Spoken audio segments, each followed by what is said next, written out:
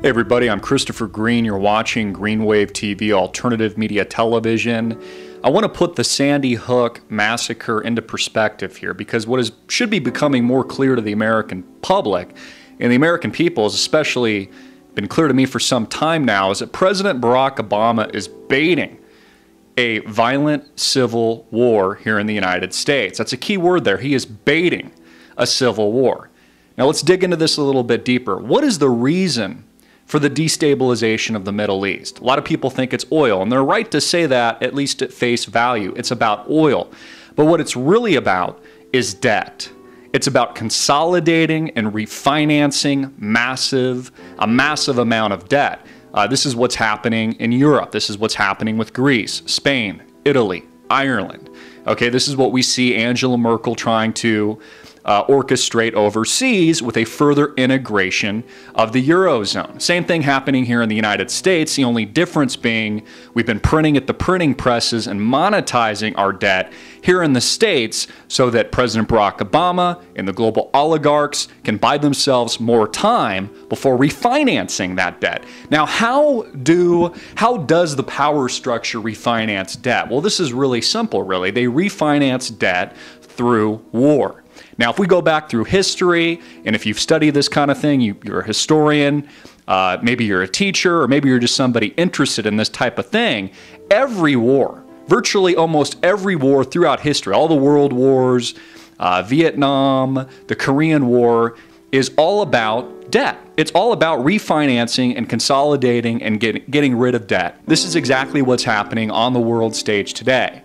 So, just like President Barack Obama is intentionally, on behalf of the global power structure, destabilizing the Middle East for this very reason, which is why we have a target on Iran, which is why President Barack Obama toppled Libya and has been running guns into Syria to also assassinate Bashar al Assad so that we can move into Iran. It's the same reason the president has been arming Al Qaeda.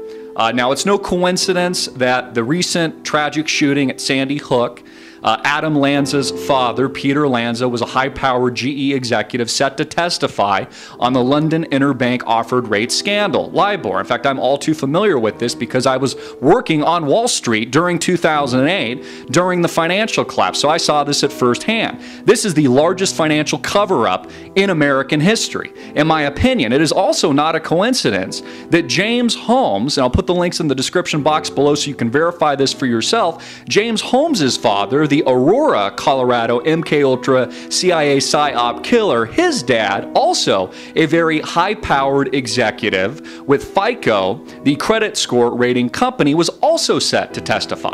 Now, it's not a coincidence that these two fathers were both set to testify and now aren't testifying on the largest financial cover-up in American history. Again, follow the money, America. Follow the paper trail. It's all about the money. It's all about the debt. It's the reason we're being being driven to war.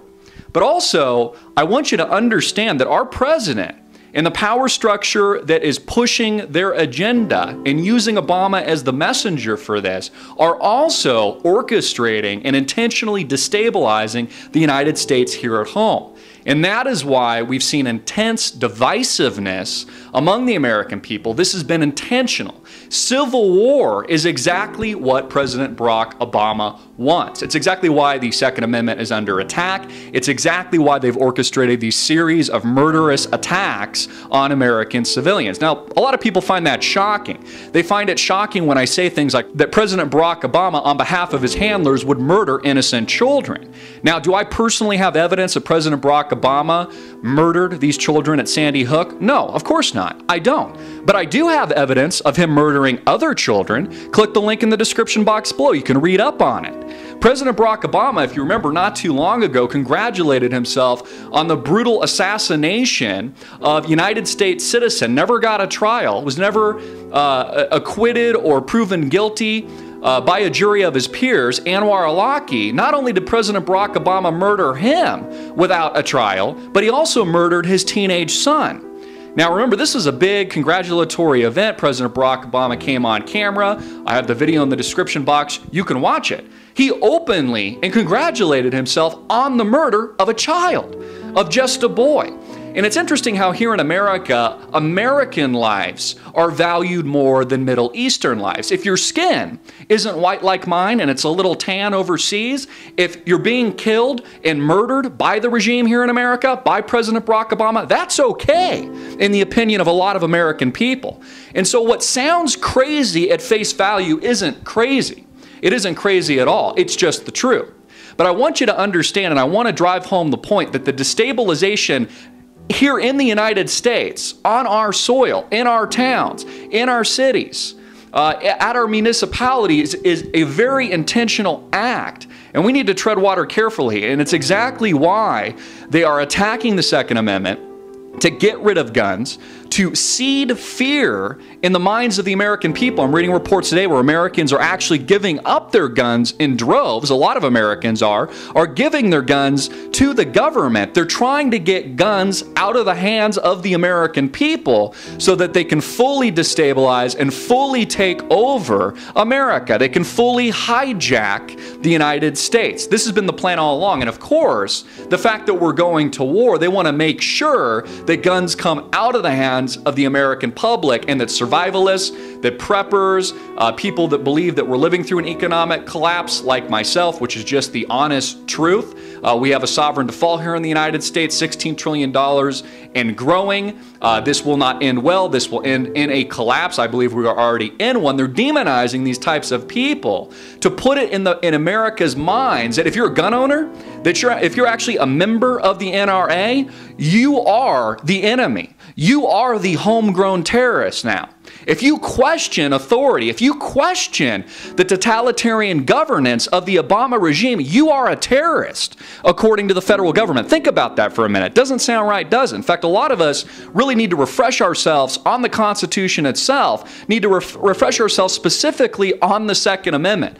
The United States government will not and should not ever infringe on our right to bear arms and our right to own weapons. And it starts with the taking away of, say, weapons of war, AK 47, semi automatic and automatic weapons, and then they gradually progress as they institute the UN United Nations Disarmament Treaty, which has been in the works for several years now. I've reported on it extensively. Please check our video archives. Then they work into regular handguns and regular type of weapons where they've completely, in effect, destabilized any type of resistance any type of American patriotism, and that is when the full tyranny takes place.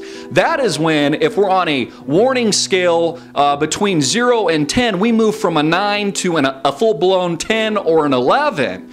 And the government at that point can fully uh, guide the American people or push the American people or really manipulate the American people any way they so desire. This is about war, and it's important that we have a much larger perspective that this is all connected. Sandy Hook, connected. The Aurora shootings, connected. Jared Loughner, connected. James Holmes's father, Adam Lanza's father, FICO, GE, uh, LIBOR, the London Interbank Offered Rate, all of this is connected. It isn't a coincidence. It isn't a coincidence that Hillary Clinton has a fake concussion suddenly and won't be testifying on Benghazi Gate. It is so obvious. It is amazing that more people don't actually see what is happening. And it's funny, I'll get emails uh, from people occasionally will say, you know, Chris, you're crazy. Well, you know, that just gives me assurance that we're actually having a pretty good impact in getting the truth out there because it's shocking people to the core. Again, it's not easy to believe that the federal government and people like President Obama, on behalf of his handlers, are willing to kill American citizens.